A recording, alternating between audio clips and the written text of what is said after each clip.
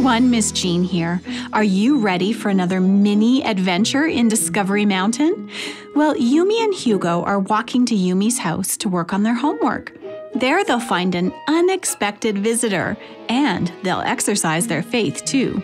Let's join them for today's mini adventure called Miracles. Hey Hugo, are you ready to go? Yeah, Yumi, I just have to zip my backpack shut.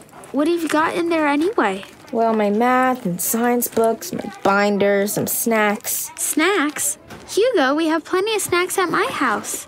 Yeah, well, I didn't want to take any chances, so I decided to be prepared. Yeah, well, you may be prepared, but it'll take a miracle to get that backpack shut.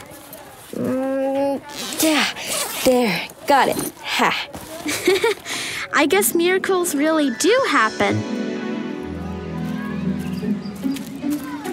What'd you think of Chaplain Jake's Bible class today? It was great. I will never get over hearing the Bible stories come alive in my imagination. I could almost see the manna when we read the story today. I know.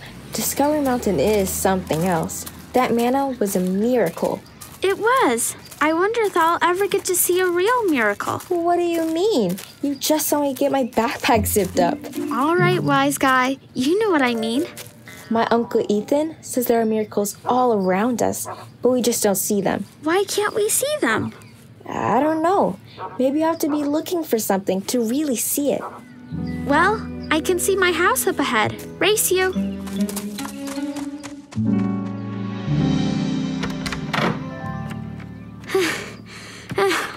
I win. no fair. You had a head start. Come on, let's get a snack first. Now you're talking my language. Hey, Dad, something smells good. Couldn't sleep? Sleep? In the middle of the day? Oh, hi, Yumi. Hi, Hugo.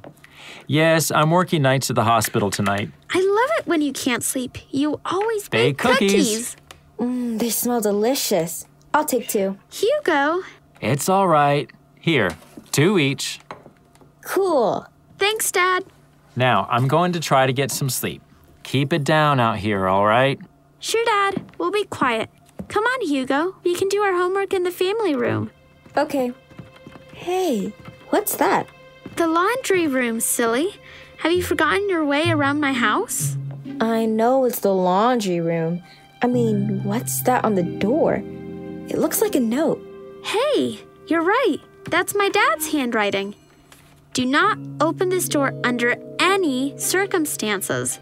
Oh, wow. He must be really serious. Any is in all caps. And it's underlined three times.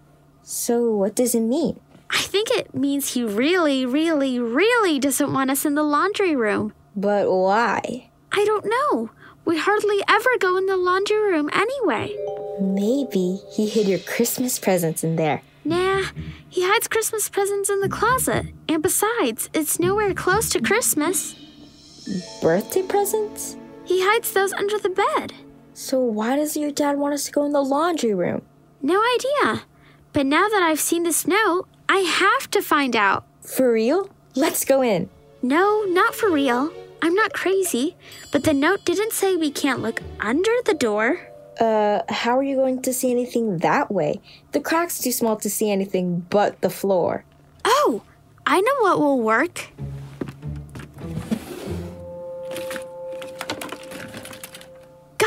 Got what? Look, a handheld mirror. If I stick it under the door like this.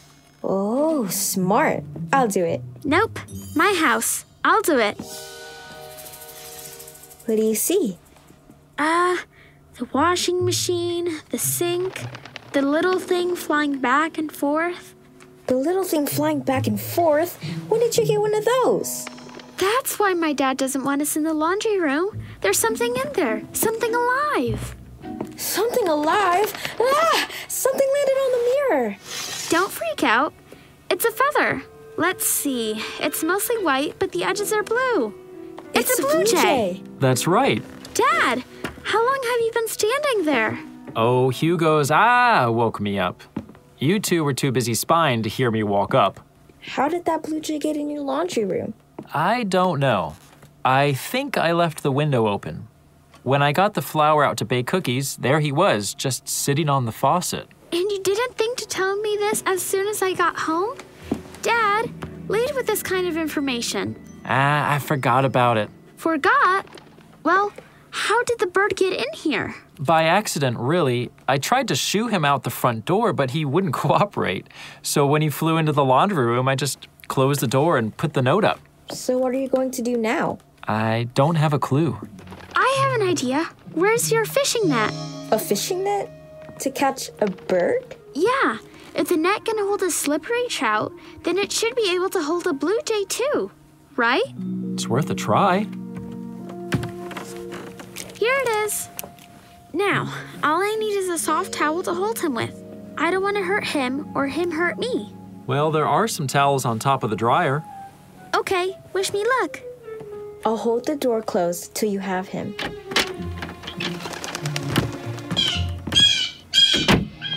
I see him. He's sitting on the shelf next to the box of soap. Come on, little bird. Hold still now. What's happening? Every time I get close, he flies to the other side of the room. There, I got him. Oh no, What's wrong? He keeps flopping around so much, he got one of his feet tangled in the net. Can you get it untangled? I'm trying. Well, try harder. He won't hold still. I'm afraid I might hurt him. I'll come in and help. No, he might escape. So, what can we do? Well, we can ask God to help. You really think God's going to help Yumi get the Blue Jay's foot unstuck? Hugo, God made that blue jay and cares even more about him than we do. Now, I'm going to pray. You want to pray with me? I guess. Dear Lord, Yumi's trying to help this poor little bird, but he's awfully scared. We don't know how to safely get him free from the net and out of the house, but you do. Please show us how to help him without hurting him. Amen. Hey, he stopped flapping around and squawking. I'm going to slowly open the door, okay? Okay, slowly. Don't startle him. Now, let's get his foot untangled. Easy, easy. There. Hugo, wrap him in the towel. I got him. Let's take him outside. Look, he flew up into that tree. He's okay. Looks like we got our wish, Hugo. We just got to see a genuine miracle. You really think so? That bird calmed down exactly when you asked God for help. You think that it was just a coincidence? Wow, I hadn't thought about it like that. A miracle. Maybe that's what my Uncle Ethan meant that there are miracles all around us that we just don't see. We're not paying close enough attention. Hey, let's head to the woods and see what other everyday miracles we can find. Yeah. Hold on just a minute. Aren't you two forgetting something? Uh, what? Homework. You can go searching for miracles after your assignments are done and all A's. An A on all my assignments? Now that would be a miracle. Yeah, it would. Hugo and Yumi had more of an adventure than they were expecting. Do you think Yumi is right? Was it a miracle that the blue jay calmed down and quit struggling right when they prayed? I think it was. Miracles aren't always huge demonstrations of God's power, like parting the waters of the Red Sea or healing a blind man.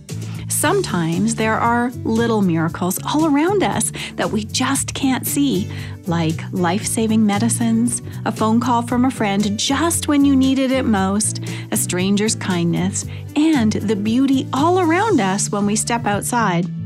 Miracles happen around us all the time. All we need to do is open our eyes, minds, and hearts to see them. This week, exercise your faith and watch for the little moments of amazement and wonder all around you. I'm Miss Jean, and you've been listening to a mini adventure in Discovery Mountain, where the air is clear, clear enough to hear your imagination, and where every day is an exercise in faith. Visit us at discoverymountain.com to send us a message and listen to full episodes on demand. Discovery Mountain is a production of the Voice of Prophecy.